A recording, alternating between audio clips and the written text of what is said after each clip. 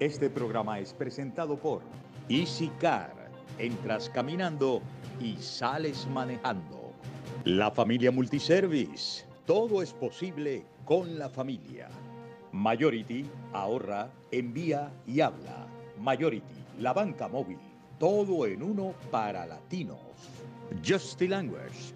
Aprenda a hablar inglés hablando.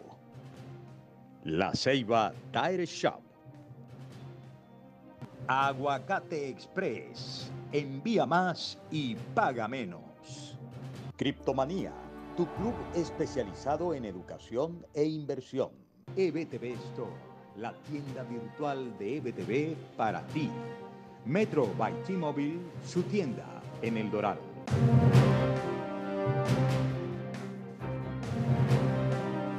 Duélale a quien le duela. Hola, ¿qué tal amigas y amigos? Bienvenidos a la entrevista a través de EBTV, el canal que está donde tú estés, el canal de los venezolanos en el mundo. Todo el equipo técnico y profesional a esta hora de la mañana, martes 14 de marzo. El madrugador equipo de BTV, como siempre, con todo el cariño para ustedes, a la cuenta de tres, con los buenos días. A la una, a las dos, a la un, dos, tres. Buenos días. Buenos días, muchachos, buenos días, caballeros y caballeras, todos aquí. Qué lindo sería, ¿no? Que todo el mundo se contagiara a hablar con estos eh, horrores del lenguaje en que los tipos del mal quieren también contaminar al mundo entero, caballeros y caballeras. Bueno, vamos de inmediato, amigas y amigos, a la primera parte del programa que siempre se la dedicamos a ver el conflicto global. Y respecto al conflicto global, que venía escuchando yo en la radio, eh, la apertura de los distintos mercados, los mercados asiáticos, etcétera, etcétera, ya la conclusión de esa apertura, porque ustedes saben cuántas horas nos llevamos de diferencia, en Japón y otras eh, eh, bolsas ya se siente la remesón por el, eh, el problema con el banco en California y otro banco menor en Nueva York que dio a pensar a muchos ahorristas que podríamos estar en una crisis parecida a la del año 2008. El presidente Biden ha salido a la palestra a decir que los ahorristas tengan confianza en su sistema financiero, en su sistema bancario. Vamos a tener justamente de AFP para arrancar con este tema la eh, reseña de la participación en escena pública del presidente Biden tratando de decir que no haya una corrida bancaria, quieto todo el mundo ahí, que todo el mundo va a tener sus depósitos cuando vaya a buscarlos en el banco. Por los momentos, ayer había en la, en la tarde comentarios sobre por lo menos cuatro bancos, ni los voy a mencionar, pero dado, dado, dado, dado dos, California, un banco especializado en asuntos, el de Silicon Valley, este, en asuntos de financiamiento a proyectos eh, de tecnología, y luego un banco menor en Nueva York. Escuchemos a Biden, adelante. Los estadounidenses pueden confiar en su sistema bancario. Eso expresó el lunes el presidente Joe Biden, intentando reforzar la confianza tras la quiebra del Silicon Valley Bank, especializado en el sector tecnológico.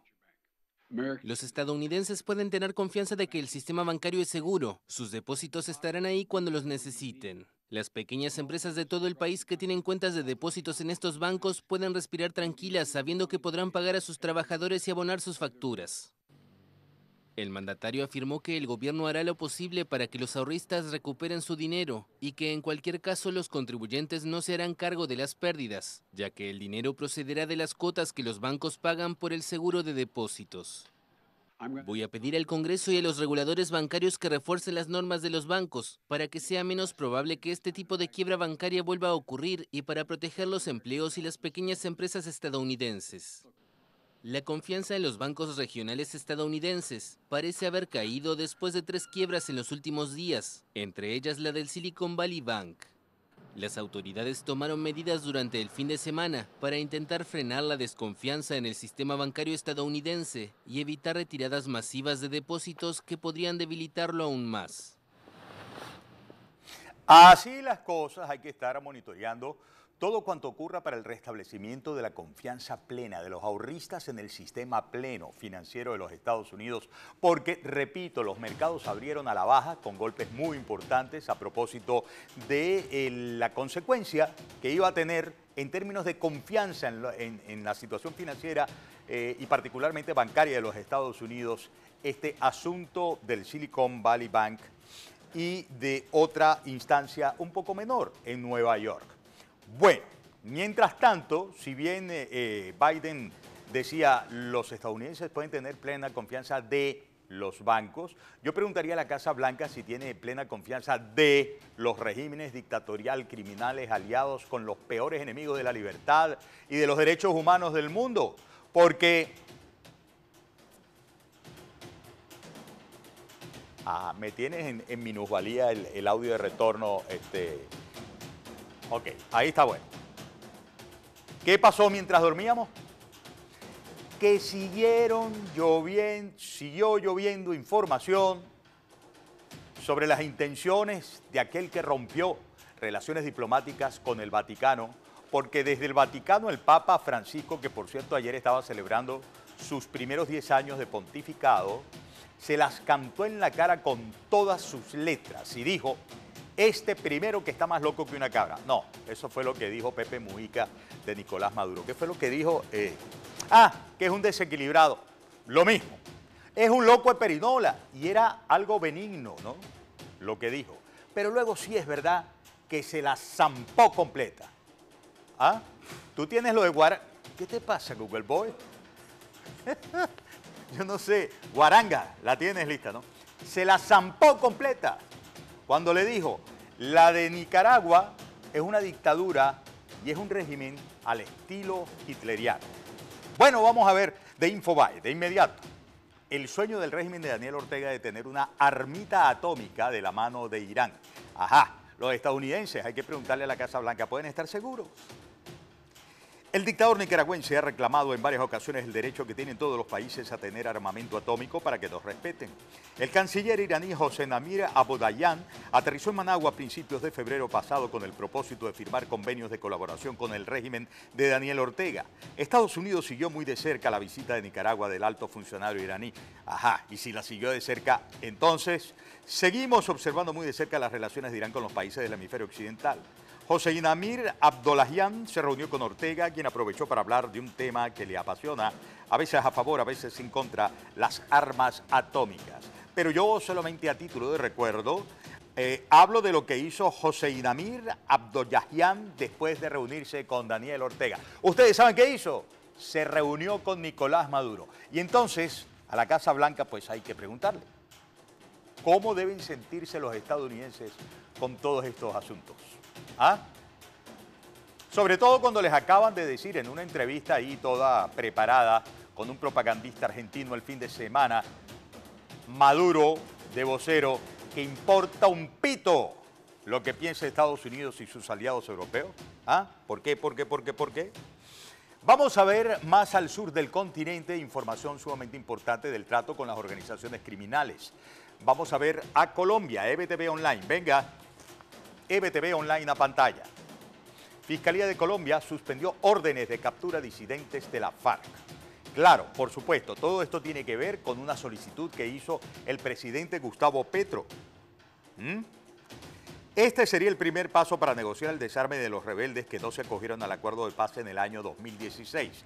Ojo que estamos hablando de un grupo completamente distinto a las disidencias de la FARC, encabezadas por Jesús Santrich, que lo mataron en Venezuela, y por Iván Márquez, a quien casi matan en Venezuela, porque en Venezuela a ellos dos, a Márquez y a Santrich, les brindó cobijo, apoyo y los puso en los asuntos eh, de política y de finanzas eh, Nicolás Maduro. Es la verdad. Pero luego, como se aliaron más con el Ejército de Liberación Nacional en el Palacio de Miraflores, pues mm, los dejaron, digamos, un poquito desamparados y casi los matan a unos y mataron a otros. Así va.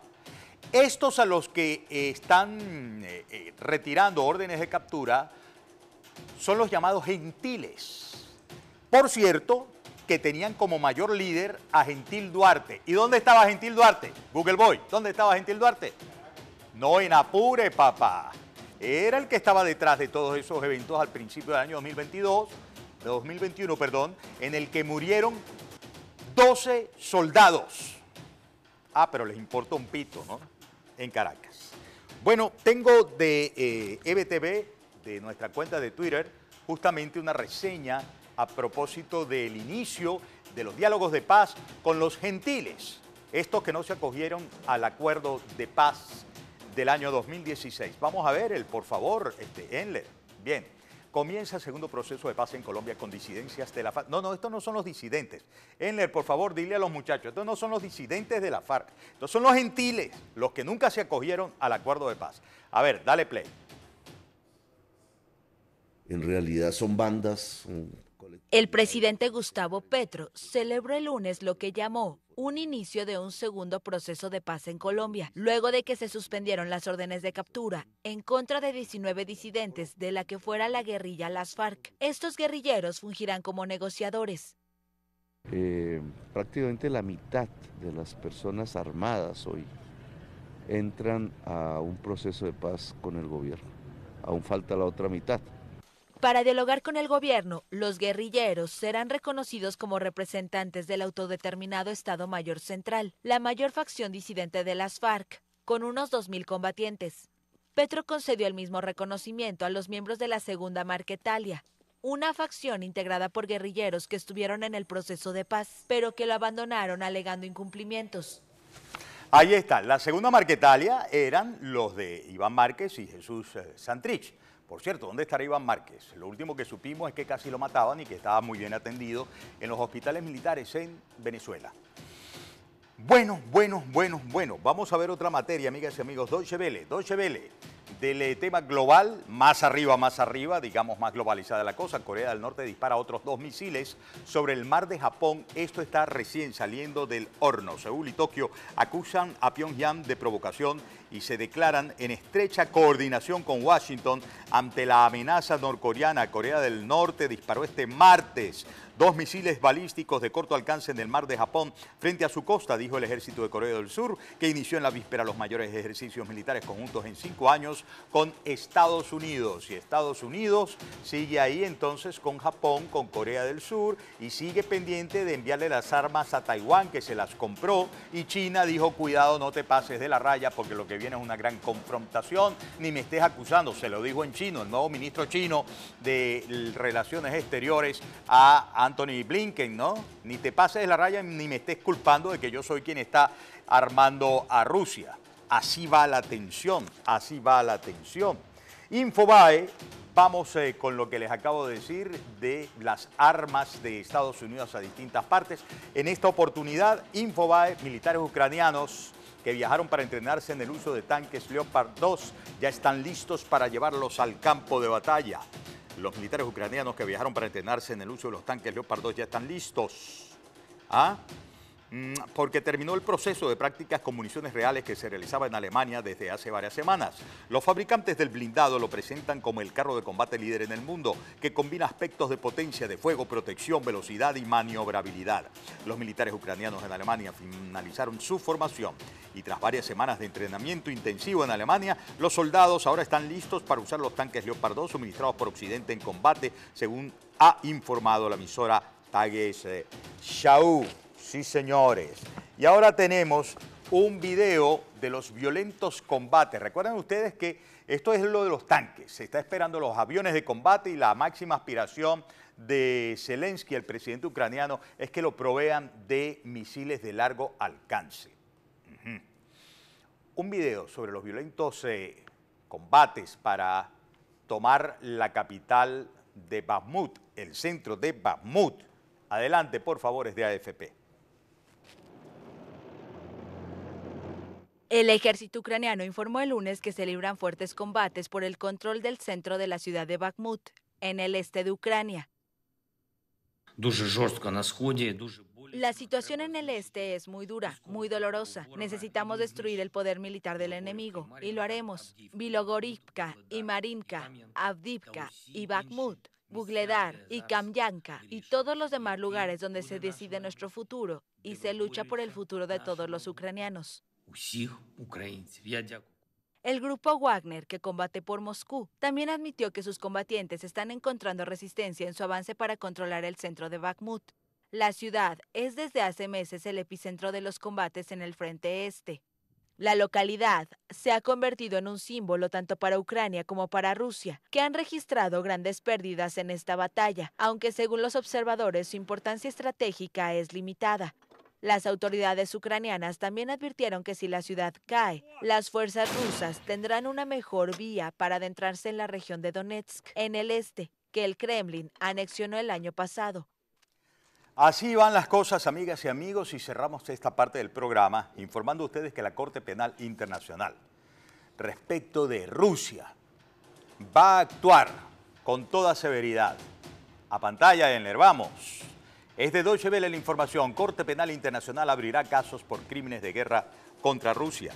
Un informe del periódico estadounidense The New York Times asegura que este martes que la Corte Penal Internacional abrirá al menos dos casos por crímenes de guerra contra funcionarios de Rusia vinculados a la invasión de Ucrania lanzada en febrero de 2021 y además tramitará órdenes de arresto contra varias personas. Las acusaciones son por secuestrar a niños ucranianos y atacar deliberadamente la infraestructura civil del país invadido, aseguró el diario, que cita como fuentes a funcionarios que han estado relacionados con estas decisiones y que no estaban autorizados a hablar públicamente de ellas. Se trata de los primeros cargos internacionales que se presentan desde el inicio del ataque ruso.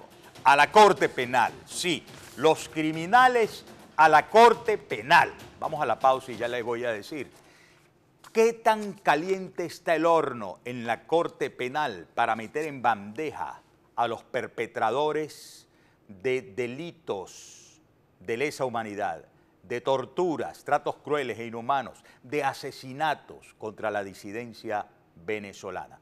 Ya venimos.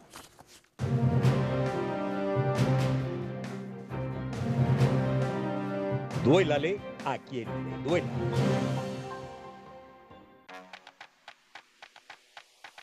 Yo estoy con EasyCar. Para todos los gustos, para todos los presupuestos, para todas tus inquietudes, EasyCar, la respuesta. Aquí las mejores marcas. Toyota, Honda, Hyundai, Kia, Chevrolet.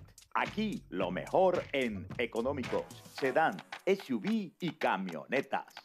En EasyCar entras caminando y sales manejando, con o sin social. Basta con el pasaporte, con buen crédito o mal crédito. Basta tener una cuenta bancaria.